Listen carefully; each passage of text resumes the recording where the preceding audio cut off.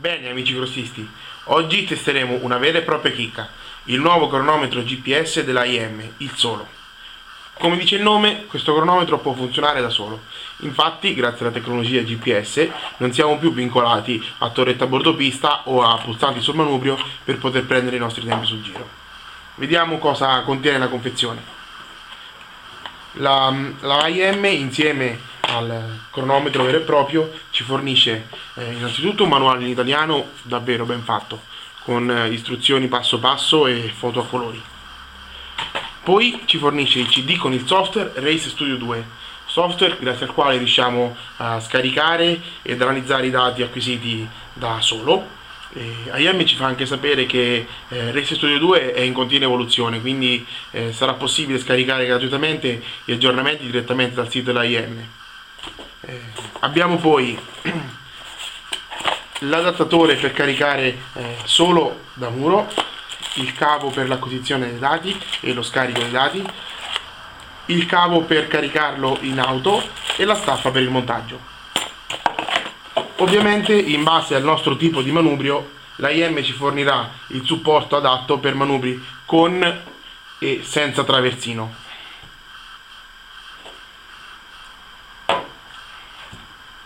Veniamo un po' alle caratteristiche. Eh, il, um, lo schermo di solo è da 128x64 pixel, retroilluminato, che eh, anche con luce diretta del sole comunque riesce a ehm, dare una ottima leggibilità.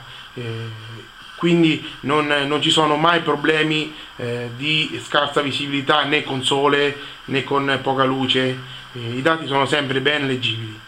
Eh, I dati che visualizza eh, sono tempo sul giro, eh, giro previsto calcolato in base ai giri precedenti, differenza dal best lap e best lap. Eh, oltre a questo solo memorizza anche altri dati come velocità, accelerazione, frenata che eh, riusciamo a scaricare insieme al tracciato GPS sul computer grazie al software che vi ho detto prima. E solo è molto molto preciso perché utilizza in media eh, un 6-8 satelliti per localizzare la propria posizione 10 volte al secondo.